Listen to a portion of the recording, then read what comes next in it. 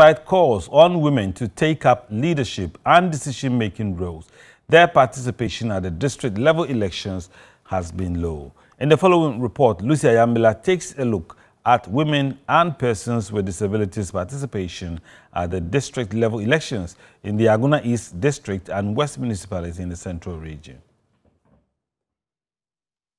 The 1992 Constitution gives equal opportunities for men and women to be elected to political positions at the local and national levels.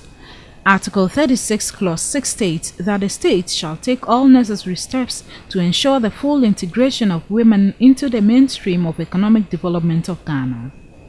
The United Nations Sustainable Development Goal 5 calls for the need to ensure women's full and effective participation and equal opportunities for leadership at all levels of decision making in political, economic, and public life. Available information indicates women participation at the district level elections has not been encouraging.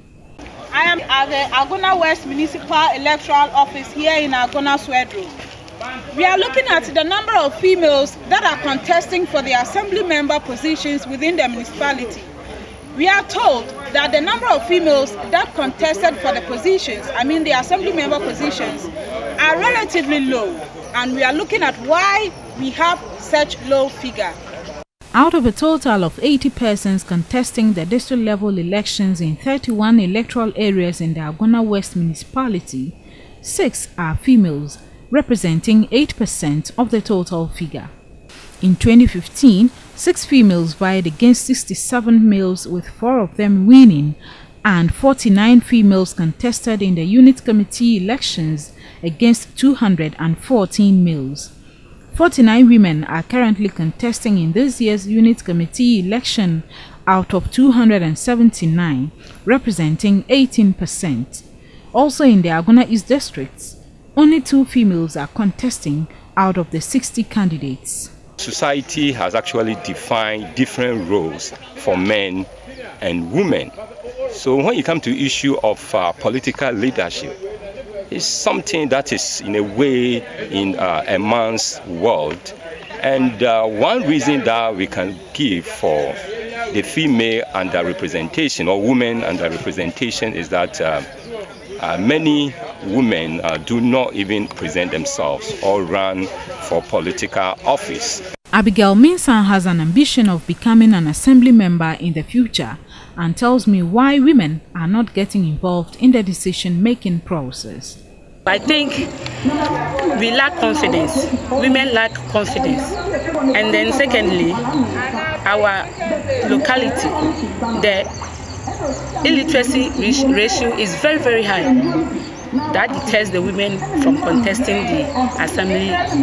No person with disability is vying for any of the positions. An economist and development policy expert, Dr. Erica Kubing says some persons with disability still have to be carried to access story buildings without elevators and ramps. He believes the poor financial status and stigmatization have been preventing persons with disabilities from getting involved in the decision-making process. We need to involve our persons with disability.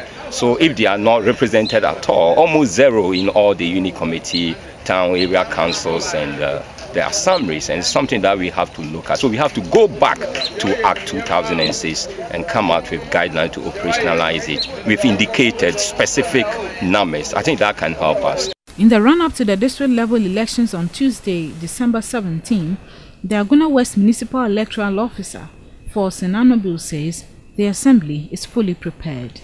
We have taken delivery of all the necessary materials and we are still packaging to ensure that Tuesday becomes a successful day. Voting in the Agona West municipality will take place in 173 polling stations.